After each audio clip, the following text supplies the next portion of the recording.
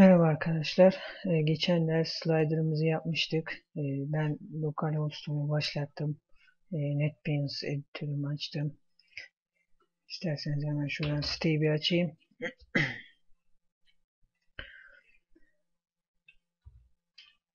Şu şekilde. Evet şu şekilde bir slider yapmıştık. Şimdi arkadaşlar bu derste e, Bootstrap'ın en büyük özelliklerinden olan grid sistemini inceleyeceğiz. Grid sistemini ben parça parça anlatacağım. Hani tek bir derste hepsini değil de hepsini parça parça böleceğim. Grid sistemi için e, net Bootstrap sitesinde CSS bölümüne girip bakın şurada grid sistem diyor. Buna tıkladığınız zaman burada grid sisteminin özelliklerini nasıl kullanıldığını işte hangi altyapıdan oluştuğunu falan hepsini görebilirsiniz. İsterseniz önce e, grid sisteminden önce biz e, daha önce kullandığımız bir container divine bakalım. Hemen şu şekilde geliyorum buraya. Önce bir e, yazı yazıyorum. Hani container divi kullanırsak ne olacak? Kullanmazsak ne olacak? Bunun farkını anlamak için bir yazı yazalım önce. Yazalım şu şekilde. Hemen gelelim. Şu. Bir F5 yapalım. Bakın gördüğünüz gibi en soldan doğru başlıyor sayfamızın. Peki konteyner kullanırsak ne olacak? Hemen şuraya öncelikle şöyle yapıyorum ben. Şurayı bir kapatalım. Slider alanımız bizim kafamızı karıştırmasın. Sayfamızda boşuna görünmesin şimdilik. Şurayı kapattım. Şu şekilde. Şuraya geldim. Bir açıklama satırı girelim. Ee, grid sistemi diyelim. Başladı.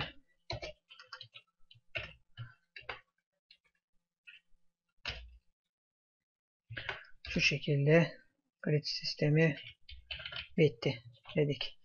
Şimdi ne yapmıştık arkadaşlar? Ee, gördüğünüz gibi en e, soldan başlamıştı. Yani sayfamızı %100 kullandık şu anda. Hiçbir element vermediğimiz için. E, şu an biz bir de bunu container'la deneyelim isterseniz. Div class diyorum. Buraya container bakın hemen çıktı zaten diyorum. Evet, bu editörde bizi bayağı bir uğraştırıyor sağ olsun. Şu şekilde. Şimdi gidelim. F5 diyelim. Bakın arkadaşlar. Sayfamızı belli bir alan içerisinde topluyor. Bu alanı e, daha önceden oluşturulan bir altyapısı var. Şurada bunu anlarsınız. E, nedir işte bu? Hemen şurada görelim. Şurada bir tablomuz var. Bakın şu alanlar içerisinde, şu ölçüler içerisinde işte geniş ekransa yani 1200'den 1200 pikselden büyükse buna göre bir hareket yapıyor. İşte medium screen ise şuna göre hareket ediyor falan. Bunu otomatik olarak daha, daha doğrusu yani altyapısı hazırlanmış. Biz bu altyapıyı kullanarak bunları ayarlıyoruz.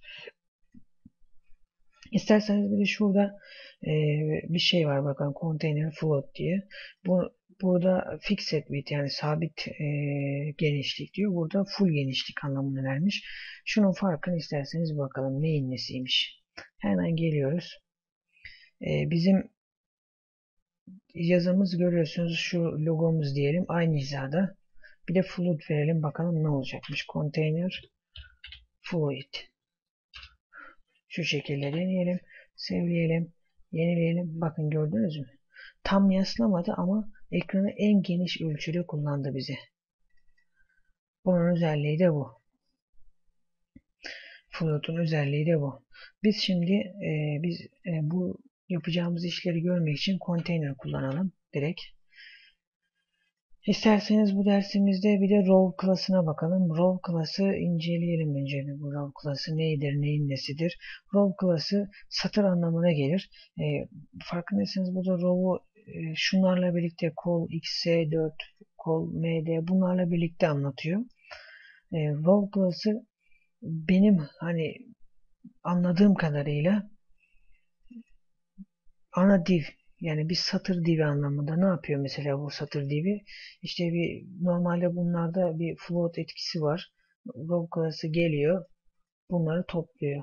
Bir araya topluyor. Yani ya da işte buna benzer bir şey. Yani bunu kullandıkça daha iyi anlayacaksınız açıkçası. Bunu zaten İngilizce olarak açıklamalarını yapmış. E, marginlerini, paddingleri veriyor falan gibisinden. Hemen şuradan girelim row class'ın. Row class'ın burada hiçbir etkisi olacağı zannetmiyorum. Birlikte görelim bakalım bir etkisi olacak mıymış. Hemen şu şekilde row diyoruz.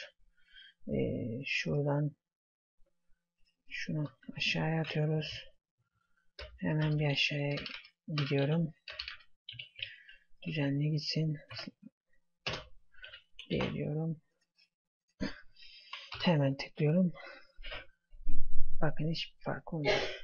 Sadece ee, şöyle gösterelim hemen. Şunu kaldıralım. Şunu da kaldıralım. Görüyor musunuz arkadaşlar? Row kullandığımız zaman e, biraz daha geniş oluyor. Ne yapıyor? Bu sanırım e, biraz margini padding'i azaltıyor. Evet bakın birazcık daha genişliyor row kullandığımız zaman. Şimdi önce bu dersimizde e, container ve row'u gördük. E, bir dahaki dersimizde artık ana e, konumuz olan e, cool işte TRX, MD, LG, XSM klaslarını göreceğiz. Bunları bir dahaki derste işleyeceğiz arkadaşlar. Şimdilik hoşçakalın.